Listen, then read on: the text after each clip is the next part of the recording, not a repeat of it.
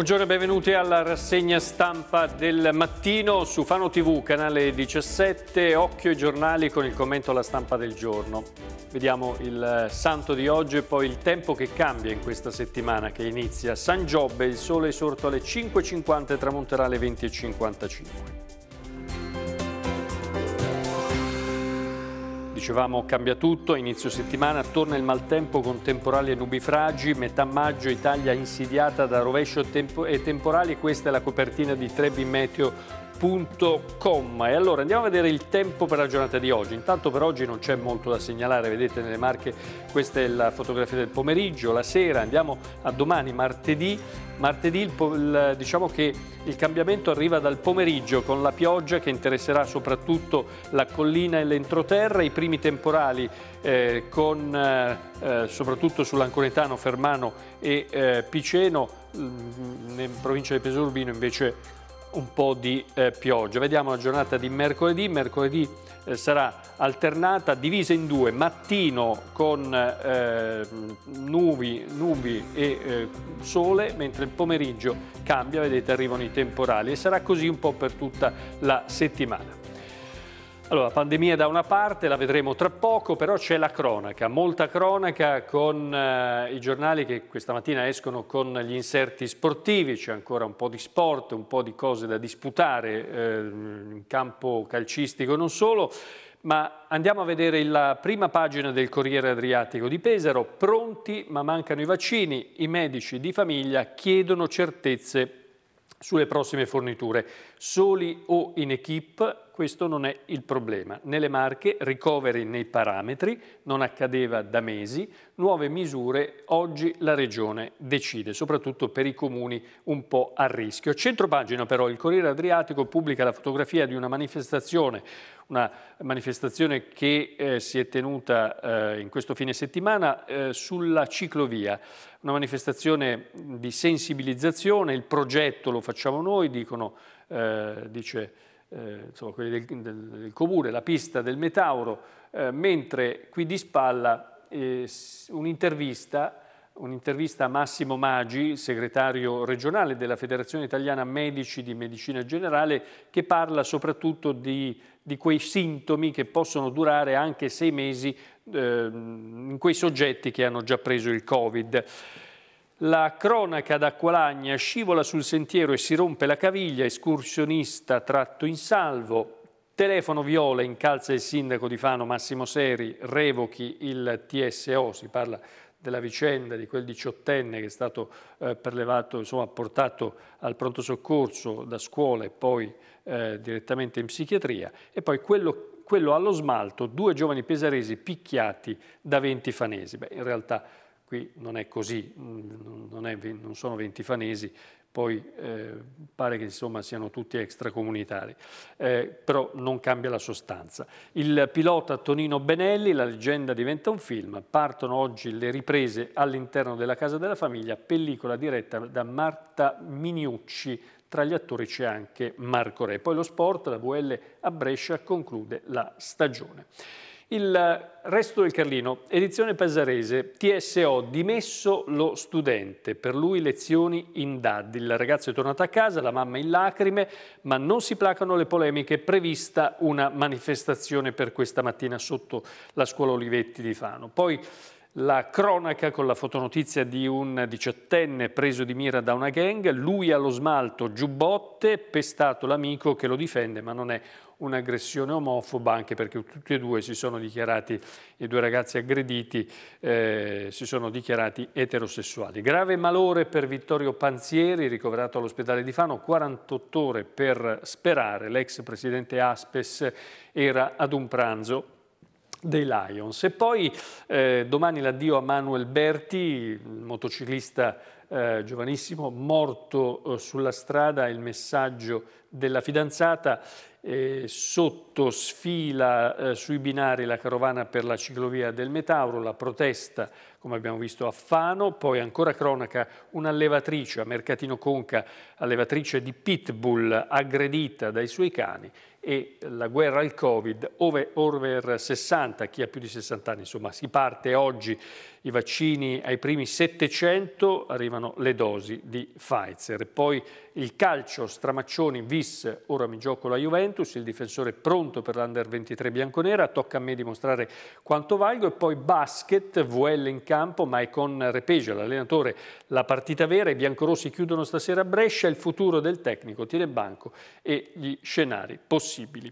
Uh, il Carlino di Macerata, invece il sorriso di frate Mario Tolentino al via il processo di beatificazione di questo frate amico della gente. Torniamo eh, sulle pagine interne, andiamo sulle pagine interne, andiamo a Fano, eh, Rocca Malatestiana, sabato, sabato intorno alle 19.30. Questo è lo scenario, siamo nel pieno centro storico, la Rocca Malatestiana è un uh, luogo un po' abbandonato a se stesso, diciamoci la verità, e, ehm, e quindi eh, è lì che si è svolto uh, questa aggressione, che si è svolta questa aggressione. Due giovani pesaresi aggrediti a Fano, titola il Corriere Adriatico oggi, il virgolettato, ovvero uh, sono le cose che sono, sono, state dette, in particolare da, da qualcuno che ha eh, che faceva parte di questa banda di aggressori,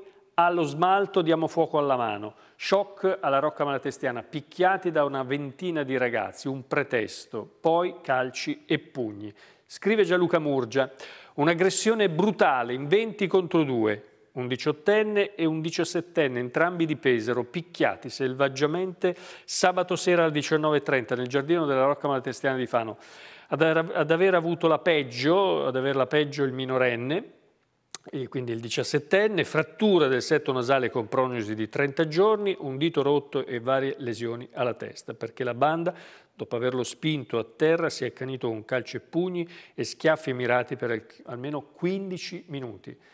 Eh, il padre, eh, anzi, ehm, sempre da questo articolo, siamo qua, ecco, erano, di, erano, una ventina di età compresa tra i 15 e i 22 anni. Eh, raccontano i due ragazzi mai visti prima. Eh, un'aggressione omofoba rispondono, eh, siamo tutti e due etero, cercavano solo un pretesto e l'hanno trovato nel mio ciuffo biondo e nel mio smalto. Prima hanno usato la scusa di chiederci la sigaretta, poi si sono accaniti su di me. Il padre di questo diciassettenne eh, il padre del diciassettenne dice è stata una vile, barbara aggressione, si porteranno dietro un carico di eh, dolore, riferendosi al figlio e, alla, e all'amico, capiranno che le diversità sono bellissime anche a partire dal modo di vestirsi. Sono convinto che la Polizia di Fano farà un ottimo lavoro, si sono subito presi cura dei nostri ragazzi che erano sconvolti. Il resto del Carlino invece pubblica una fotografia, anzi due fotografie, del luogo, del momento in cui vedete c'è un'ambulanza del 118, una macchina dei carabinieri della polizia e poi c'è una fotografia con il particolare, io l'ho cerchiata di rosso, il particolare di questa mano eh, di questo ragazzo che ha lo smalto, eh, lo smalto di colore eh, nero. L'articolo è di Roberto Damiani, il titolo aggredito perché ha lo smalto sulle unghie, pestaggio del branco contro due ragazzi, è successo sabato sera alla Rocca ma la Testiana di Fano una quindicina di giovani stranieri si sono accaniti contro i pesaresi, calci e pugni in faccia al diciassettenne che cercava di proteggere l'amico, l'altro, preso di mira per il suo look. Setto nasale e mano fratturati, quindi praticamente eh, il ragazzino che aveva questo ciuffo di colore bianco con lo smalto è stato, tra virgolette, risparmiato, lui che tra l'altro racconta Damiani eh, è un po' abituato ad avere eh, in questi anni per il look che ha deciso di portare liberamente eh, queste, questi, queste, dire, eh, questi, attacchi solo verbali, no? con vari epiteti, eccetera, eccetera. Però fin lì, e quindi forse sapeva anche come gestire un po' la situazione, una situazione difficile, 15-20 ragazzi che ti arrivano a un palmo dal naso, che cominciano ad ad aggredirti verbalmente, aspettano il pretesto, aspettano e quindi lui giustamente cosa ha fatto? Ha tenuto sempre, racconta lui, la testa bassa, non, non, non ha mai guardato in faccia ai suoi aggressori. Questo per non dargli il pretesto perché basta un'occhiata per far scattare il putiferio. Eh, e quindi lui si è in qualche modo, tra virgolette, salvato. Chi ha avuto la peggio invece è l'amico che ha tentato di difendere eh, il compagno e che è stato appunto aggredito. Eh, 15 minuti raccontano a terra con pulce, cagne, eh, calci e pugni, lui a un certo punto racconterà al giornale, dirà io ero preparato a morire perché non sentivo neanche più, più niente, eh, quindi stava perdendo un po' conoscenza. Il gruppo formato, andiamo di nuovo sul giornale, ecco lo vediamo qua, il gruppo formato da giovanissimi extracomunitari albanesi e marocchini, io non li ho nemmeno guardati in faccia se non all'inizio, poi ho capito di non doverli guardare per non sfidarli e, e ho tenuto sempre la testa bassa per non dargli appunto dei pretesti. Tutto questo è successo appena erano arrivati a Fano, si sono sentiti chiamare da lontano da questo gruppo di una quindicina di ragazzi, mai visti prima, e lui ribadisce, qua lo ribadisce anche qui, erano tutti extracomunitari albanesi e marocchini, mi prendono in giro per il ciuffo bianco, ma quando arrivano vicino e vedono le mie unghie con lo smalto nero, cinque o sei di loro mi bloccano uno prende un accendino e cerca di dar fuoco alle dita per togliermi lo smalto. E il padre del ragazzino 17enne che è finito all'ospedale con 30 giorni di prognosi dice mio figlio massacrato per difendere l'amico. A Fano poi c'è l'altra vicenda invece, eh, quella che riguarda il trattamento sanitario obbligatorio eh, nei confronti di quel diciottenne che eh, si era presentato in classe per l'ennesima volta senza mascherina, questo ragazzo di 18 anni frequenta l'Olivetti a Fano, eh, si era presentato a scuola nei giorni scorsi eh, protestando eh, contro eh, il sistema in sostanza, eh, non indossando la mascherina, all'inizio si parlava che si era legato al banco insomma, per protestare eccetera eccetera. Eh, per due ore hanno tentato di convincerlo a mettersi la mascherina, eccetera, eccetera, lui non ne ha voluto sapere, così sono stati chiamati le forze dell'ordine, è arrivata anche un'ambulanza, è stato portato all'ospedale, pronto soccorso e lì hanno deciso a questo diciottenne di eh, calmarlo e di portarlo in psichiatria. Ora, questo fatto ha scatenato un putiferio, sia a livello nazionale che a livello eh, locale, ma più nazionale a dire il vero, con da una parte i medici eh, che hanno deciso appunto questo trattamento sanitario obbligatorio e il resto del mondo che invece ha giudicato eccessivo questo appunto trattamento. La politica si è inserita con eh, il senatore Siri della Lega che dice oggi sul giornale qualcuno ne risponderà e intanto questa mattina dalle 10 eh, ci sarà un presidio, uno stop davanti all'Olivetti, qualcuno deve assumersi le responsabilità di quello che è accaduto, che è veramente molto grave. Per quello che ho verificato, dice il senatore, sentendo tutte le parti in causa, il ragazzo compreso, non c'era alcun bisogno di mortificare questo giovane chiudendolo in psichiatria. Questo ha dichiarato in una diretta Facebook il senatore Armando Seri dopo la visita fatta sabato scorso al diciottenne sottoposto al trattamento sanitario obbligatorio per gli sviluppi della sua protesta contro l'obbligatorietà della mascherina a eh, scuola. Ehm, poi, eh, Telefono Viola, ecco, Telefono Viola invece è un'associazione, un ente contro gli abusi psichiatrici, incalza il sindaco di Fano eh, che dice deve revocare subito quel TSO, l'ente contro gli abusi psichiatrici si appella a Marche Nord al Tribunale del Ministero. Però dal Carlino si apprende che il diciottenne è stato già dimesso anzitempo, doveva stare sette giorni in psichiatria, questo era stato stabilito, in realtà ieri, giorno della festa della, della, giorno della, festa della mamma, eh, è stato fatto uscire e la mamma appunto racconta oggi è il più bel regalo che mi potessero fare in questo giorno della festa della mamma, sono felice. E il diciottenne ha commentato questa è la fine di un incubo, poi la corsa a casa eh, con i telefoni staccati. E c'erano, eh, questa, questa cosa è avvenuta ieri intorno alle 13 davanti al reparto di psichiatria dell'ospedale di Muraglia dove appunto il diciottenne ha potuto riabbracciare tra le lacrime sia il padre che la madre. Una vicenda che non finisce qui per l'avvocato eh, di questo ragazzo che è l'avvocato Isabella Giampaoli, figlia dell'ex presidente della regione Marche Rodolfo Giampaoli, eh, la quale aggiunge Avevo fatto opposizione contro il ricovero coatto, ma credo che siano stati gli stessi sanitari a decidere che il ragazzo dovesse uscire in anticipo perché non c'erano le condizioni. Tra l'altro è stato proprio il diciottenne a, a, dare l'incarico direttamente, perché poi essendo maggiorenne lo può fare, direttamente a questo avvocato. Eh, a chiamare infatti è stato lo stesso ragazzo perché è lui, dice l'avvocato Giampaoli, che mi ha contattato visto che è maggiorenne anche perché io mi occupo di queste disposizioni anti-Covid e difendo anche i sanitari che sono contrari alla vaccinazione.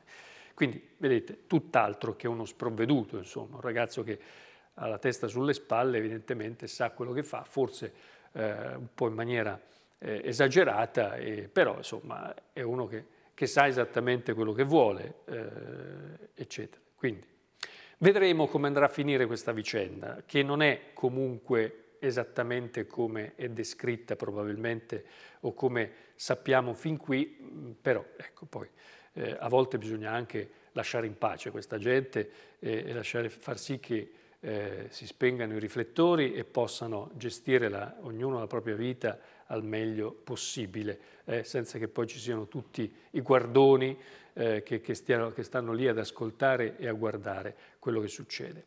Eh, il virus, e qui apriamo la pagina della pandemia, il virus arretra in generale in tutta Italia, però la questione, sappiamo, in provincia di Pesaro Urbino non è esattamente così. Crollano le vittime eppure l'indice RT declassa le regioni. Molte infatti di queste regioni rischiano di passare di nuovo in arancione. Ovviamente è una corsa adesso per modificare questi parametri che a questo punto sono, eh, sono obsoleti, sono vecchi, vanno rivisti. Costa dice va inserito il numero di vaccinazioni. Ora questo è importante perché chiaramente, diciamocelo, con tutta franchezza non ci si può più permettere una nuova chiusura, non ci si può permettere neanche a sognarlo lontanamente di nuovo un ritorno in zona arancione, perché sarebbe davvero la eh, fine, la fine per tante attività commerciali, la fine per tante famiglie che con appunto il commercio eh, campano, vivono, eh, non essendo, eh, non essendo eh, dire, dipendenti pubblici e quindi non avendo uno stipendio garantito. Allora, ricoveri nei, nei parametri, ma, ma non, non, accadeva questo da mesi, questo è il Corriere Adriatico. Oggi intanto si visualizzeranno, si studieranno i dati relativi ai comuni.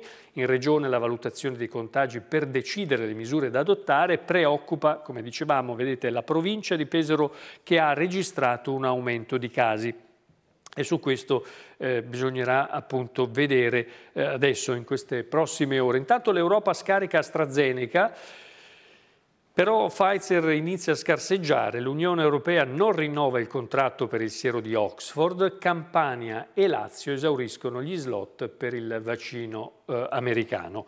Eh, nel secondo trimestre consegnate 70 milioni di fiale contro le 180 milioni promesse dal colosso anglo-svedese e Bruxelles ha deciso di puntare sull'antidoto americano anche per fronteggiare le varianti. Poi c'è questa notizia che arriva da Massa eh, e mh, mm, riguarda un errore che è stato fatto, un errore eh, in sede di vaccinazione, sei dosi iniettate per sbaglio ad una ragazza, eh, ora, ora, chiaro, non è che hanno fatto sei punture diverse, hanno al posto di eh, separare le, le, la fiala eh, in sei dosi, gliel'hanno fatta tutta intera. E quindi eh, capite che eh, sono sei dosi tutte inoculate nella stessa persona con la stessa siringa e tant'è che i test, quelli che fanno solitamente, eh, che, che, fanno le case farmaceutiche, in questo caso eh, erano come so, sovradosaggio, il test arrivava a 4, qui addirittura siamo a 6, quindi adesso la ragazza che comunque sta bene eh, è stata portata in ospedale, è sotto strettissima osservazione, questa ragazza ha 23 anni, eh, e purtroppo hanno sbagliato, le hanno iniettato tutta la fiala di vaccino Pfizer, tutta. Eh, è successo ieri mattina all'ospedale di, di, di, Massa, e lei non si è accorta di niente, però quando hanno eh, capito che, che qualcuno aveva sbagliato, attorno a lei, e qui per questo che si è accorto che si è accorta questa ragazza che c'era qualcosa che non andava, non tanto perché sentiva che, che, che, qualcosa dentro di sé, ma attorno a sé. Tutti erano in allarme. Le condizioni comunque ieri sera erano tranquille. La mamma della giovane dice speriamo che non abbia eh, effetti collaterali eh, gravi in futuro. Eh, calano i contagi invece in Valcesano eh, Serra è il comune covid free, screening a Frontone un bimbo positivo e la sua classe va in quarantena, ma potremmo dire anche qui scene di ordinaria pandemia. Sotto il sindaco tifoso incrocia le dita per l'avventura di eh, Carboni, in bocca al lupo di Sorcinelli, il sindaco di San Costanzo, per il ciclista in gara al Giro d'Italia di cui vi abbiamo parlato. Poi l'intervista invece che vi segnalo a pagina 5 del Corriere Adriatico di oggi è al, a Massimo Maggi, che è segretario regionale della Federazione Medici di Medicina Generale, il quale Maggi risponde eh, su mh, quali sono i postumi, i sintomi eh, per chi ha già preso il Covid-19. Sintomi che durano da 12 settimane ma fino a 6 mesi, quindi è davvero tanto. La, sintoma, eh, la sindrome post-Covid eh, eh, appunto arriva fino a 6 mesi, eh, ci sono delle linee guida che interessano eh, si interessano di gestire queste situazioni, parlano di una necessità di eh, consulenze per il paziente con contatti eh, frequenti per cercare di capire quali sono le condizioni e di uso di farmaci specifici perché non esistono di eh, specifici per questa fase, cioè per chi ha avuto il Covid non ci sono dei farmaci che uno può prendere da prescrivere. Lei ha avuto il Covid, bene, allora prenda adesso questi farmaci per il decorso, eccetera, eccetera. Non esistono. E, e quindi si, si, va un po' così, a, seconda di quella che è l'intuito, la scienza, la letteratura medica, un po' di cose messe insieme, eh, si cerca di, di, di portare a casa un risultato. Se la Regione non torna indietro, invece siamo sulla pagina di Fano del Corriere, il progetto della ciclovia lo realizziamo da soli. Fanesi contro, accanto, scusate, accanto al comitato, dopo dieci anni ripuliti 300 metri di binari. Insomma, ci sono, ehm, sono questi irriducibili che tornano alla carica e non, non ne vogliono sapere di abbandonare questa, questa ferrovia ormai dismessa da tanti tanti decenni. Un ritorno del treno a pochi metri dalle case è una follia, torniamo ai passaggi a livello, si domanda qualcuno, chiaramente eh, c'è chi è favorevole e chi è contrario, ma comunque fatto sta che eh, è un progetto che ancora fa discutere. Biodigestore palla ora la conferenza dei servizi, raccolta di firme tra residenti di Barchi, Mondavio e Piaggia, qui vedete eh, Michele Tomasetti, Andrea Meia, Anna Maria in Cristina eh, che raccolgono le firme contro l'impianto che ha raggiunto quota 1000, quindi insomma la gente non vuole questo biodigestore eh, a terre roveresche. Eh, Biancani difende la ciclabile metro per metro, manifestazione a Cuccurano di Fano con il consigliere regionale del PD che ha ideato un percorso lungo la ferrovia Fano-Urbino. E poi comitato contro il biodigestore raccoglie 1100 firme con tanto di richiesta danni eh, preventiva.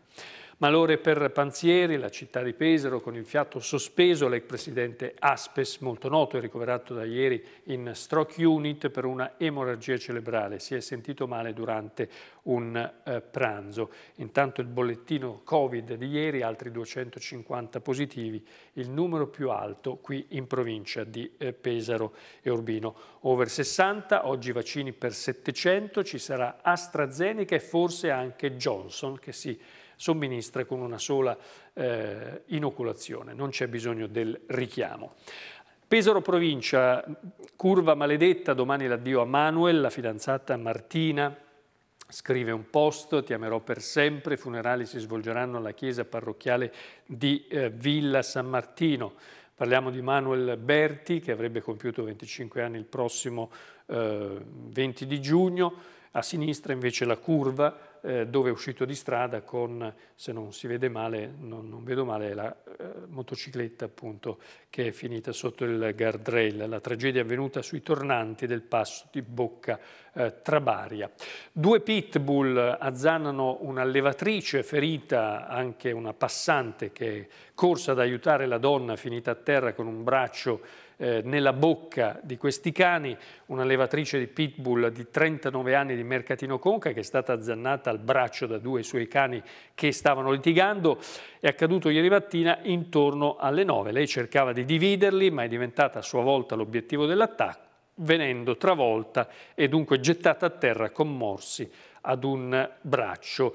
Eh, sul posto il 118, i vigili del fuoco, ma anche i eh, carabinieri. Si frattura la caviglia al furlo, subito soccorso, una brutta esperienza per un settantenne che non aveva calzature adatte al terreno impervio in cui si era avventurato e dunque si è fatto male intorno a mezzogiorno. Il, soccorso alpino e speleologico è stato allertato per questo incidente. È un turista di Falconara Marittima di 70 anni che insieme alla famiglia aveva deciso di trascorrere la giornata in uno dei posti più belli del nostro territorio.